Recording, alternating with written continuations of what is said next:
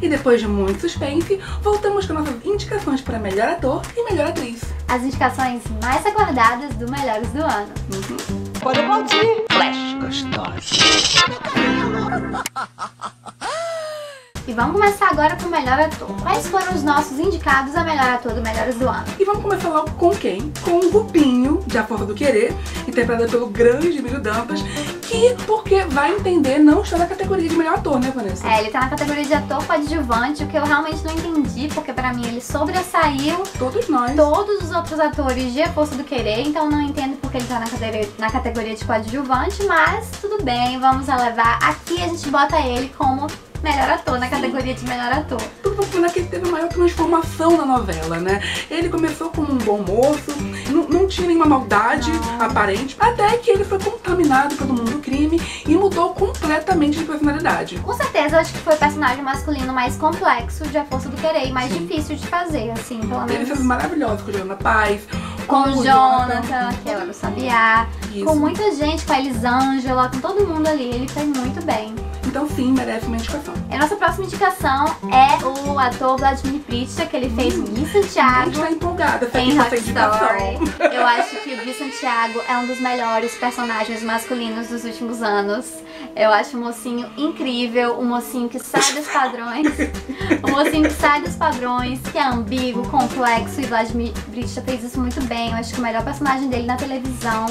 E ele merece muito, ele teve cenas incríveis com a, com a protagonista, que era a Natália Dill, com a antagonista, que era a Aline Moraes, que era a Diana, com a Ana Beatriz Nogueira.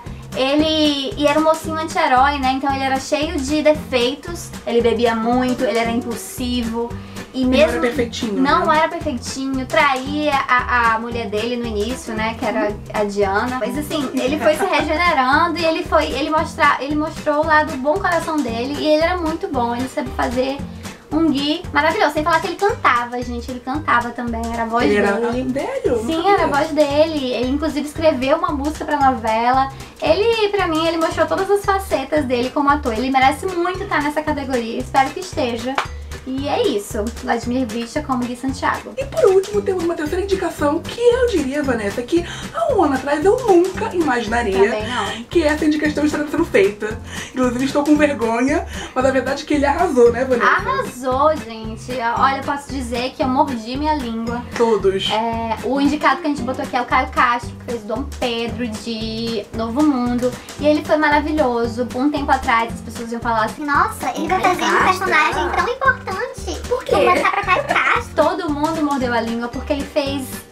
Nossa, ele fez realmente muito maravilhoso esse personagem. Que foi um combo de dificuldade, né? Porque, Porque é um personagem importante, tem É. sotaque. É um personagem histórico É um personagem importante. histórico. E além do mais, ele é um personagem com uma carga dramática muito forte, muito né? grande. Ele tinha. Nossa, ele tinha que passar por muitas coisas, assim, porque ele tinha um relacionamento complexo com a princesa Leopoldina.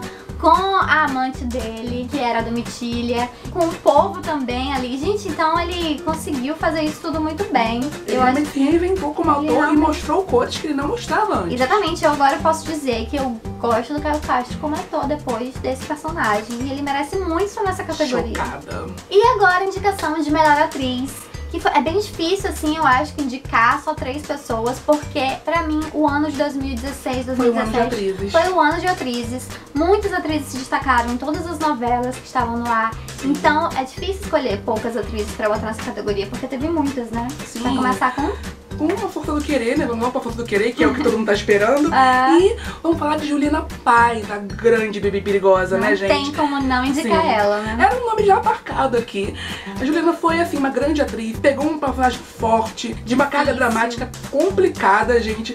É difícil ser uma anti-heroína hoje em dia. Talvez no, seu, no dentro do seu coração seja uma pessoa boa, mas foi contaminada pelo marido dela, né? Que era um homem do tráfico. E ela, como mulher do tráfico, ela entrou em um mundo que ela não conhecia e que mudou completamente a vida dela. Eu acredito que foi a consagração popular da Juliana Paz, porque pra mim ela já era uma grande atriz, mas acho que Bibi a Perigosa realmente Faltou um grande papel Al- pra ela, né? Exatamente, papel que tipo, ser grande público. sempre. Com certeza vai ser lembrada pra sempre como Bibi. Não sei se pra sempre, mas assim, com certeza ainda ela, ela vai ficar sendo chamada muito por Bibi por aí. Sim. E eu acho legal que ela foi consagrada em um papel da Glória Pérez, Agora, que é uma grande fã dela como atriz, né? exatamente. Ela é sempre uma atriz preferida, uma das preferidas da Glória Pérez e que é muito legal ver que, que é com essa amizade que ela tem com essa autora que ela conseguiu se consagrar, né, gente? É, e é bom lembrar que a Bibi foi. Teve a redenção dela em Posto Querer. Ela também não concordo porque eu queria que a Bibi É. sofresse, porque ela foi uma personagem complicada. Uhum. E ela teve a redenção. Acho que muito essa redenção veio do.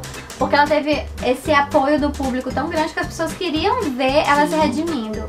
Né? Mesmo que ela tenha feito tantas coisas ruins na novela, mas deu tudo certo no fim. Mas mesmo com essa controvérsia, a verdade é que ela sim merece uma indicação. Muita. E quem sabe o prêmio, Quem saber? sabe, eu acho que tem tudo pra levar esse prêmio, É. com certeza. A minha segunda indicação é uma pessoa que eu acho ela também muito, muito boa.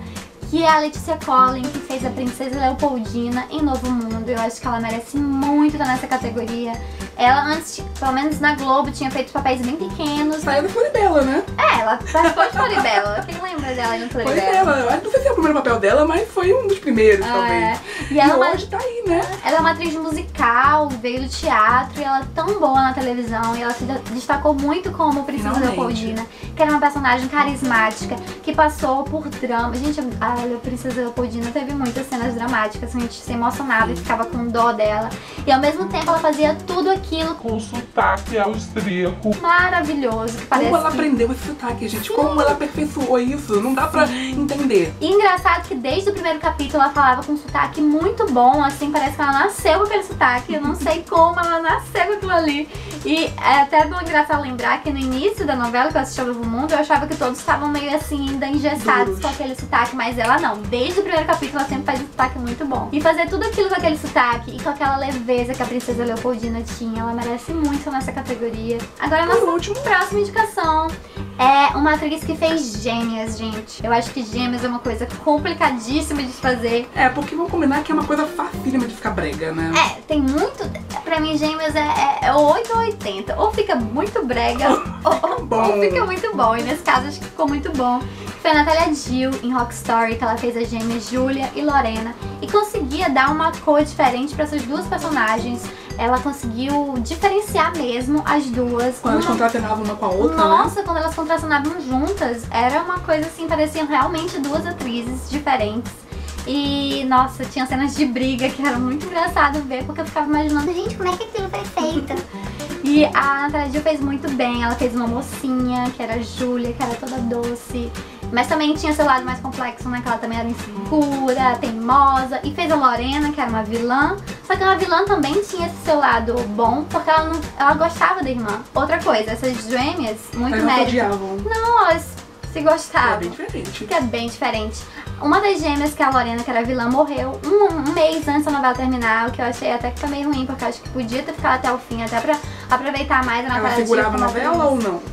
A Lorena? É. Não, não segurava não. Inclusive, muita gente reclama que a Lorena devia ter tido mais destaque desde o início. Uhum. Mas não teve tanto assim. Mas enfim, a Natália Jill fez muito bem. Inclusive, eu também pensei em indicar outra atriz nessa categoria de Rockstar, que era a Aline Moraes, que fez a Diana. Nossa, ela fez também muito bem, mas eu deixei a Natália Jill por causa dessas coisas das gêmeas e tal, mas Rockstar também teve essas duas atrizes muito boas. E é isso. A gente fica por aqui, né, gente? Essas foram as nossas grandes indicações para os melhores do ano. Que vai acontecer dia 10 de dezembro, a gente vai estar atento. Vamos estar lá quis- no Twitter, segue a gente. Segue aqui a nosso Twitter, vamos colocar bem aqui pra vocês também nos seguirem lá no Twitter. E se você gostar desse vídeo, não esqueça de dar uma curtidinha. E se inscrever no canal. Isso. Até mais! Até!